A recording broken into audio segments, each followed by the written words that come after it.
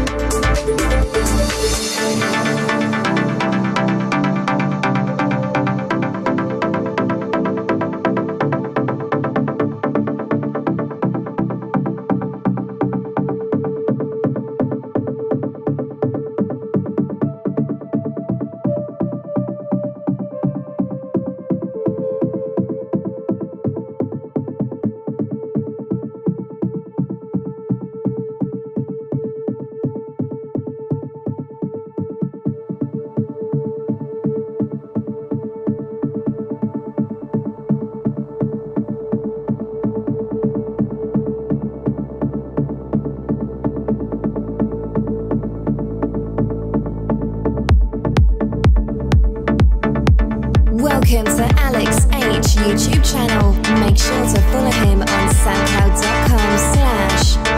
Alex Humberstone or facebook.com slash 4LEX